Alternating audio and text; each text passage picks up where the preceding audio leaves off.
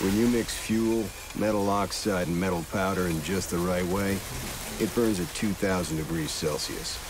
Hot enough to cut through nearly any barrier known to man. Throw some C4 into the mix, and you've got one hell of a combination.